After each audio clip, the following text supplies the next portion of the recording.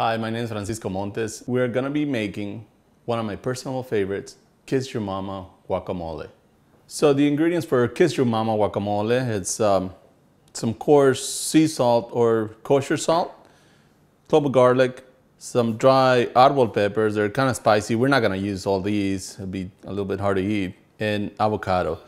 First thing, you take a, a little a pinch of salt, and the, the coarseness is gonna help with with mashing up the garlic and mashing up the uh, the peppers. Now these peppers, you you put them on the hot dry skillet, not long, just enough to toast it a little bit. You're gonna get some dark black spots on it and it's gonna start smelling. And I remember just being in bed and getting the smell of the roasted hot peppers. It made me want to get up and, and see what was going on in the kitchen. So, okay, so the uh, hot peppers go in there with the coarse salt, just another pinch. And take your pestle and just break it up, seeds and all.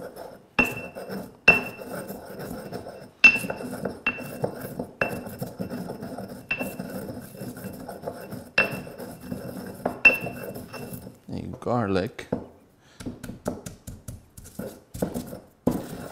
Just oh, you can smell it. So Viva Tequis, uh, you know, you'll you'll come in, you'll see our menu, and you'll say, okay, tell the person taking your order, hey, I want the kiss your mama. Or you know, tell them any of the other guacamole. It's like they're all gonna be good, all gonna be made from scratch. You know, as soon as you order, we'll start we'll start cutting up the avocados and oh, this one's good. And making guacamole.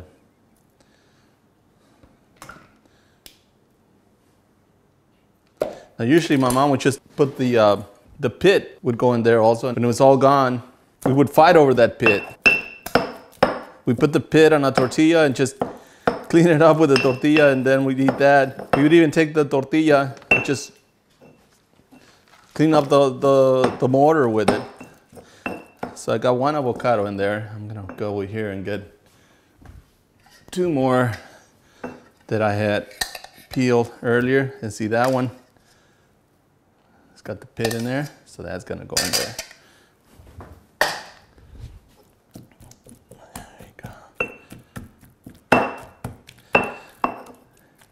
And we I don't I don't remember having guacamole for lunch or dinner. It was always it was always breakfast. And then there was this this mortar that my mom had. I mean, it was used so much. It was used for everything. I mean, not just guacamole. She'd make some tomato salsas in here. She'd make. This was our blender. We we honestly didn't have a blender growing up till probably till I was, I don't know, nine or 10. All right. So I think that's good. We got everything stirred up. So, so something else she'd make every single day, corn tortillas. And I got, I got some, some dough here.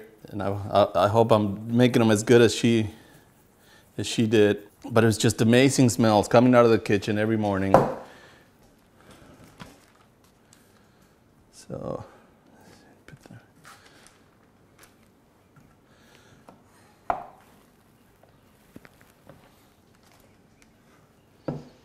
because now they got fancy machines that make your tortillas for you, and you just go, like in Mexico, you walk down to the tortilleria in the corner and get your tortillas.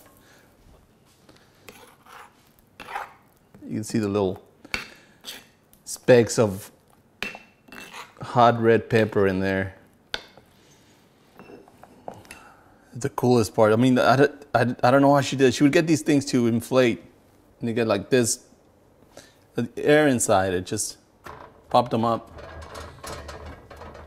This one looks like it's gonna.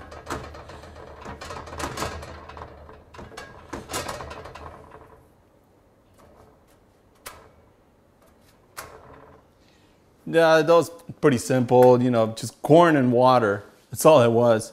Now there's a process because she, they started the day before cooking the uh, corn to get it ready for the next day. And then we take it down to uh, this guy who had a mill. It's a huge thing. And everybody from town went there to, to get their nixtamal milled up. got a little, that one's blowing up a little bit.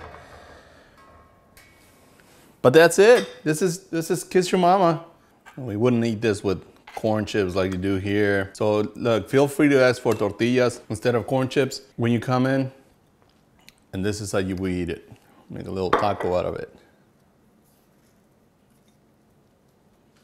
There you go. See. Mmm. Yep. That's good. This definitely brings back memories.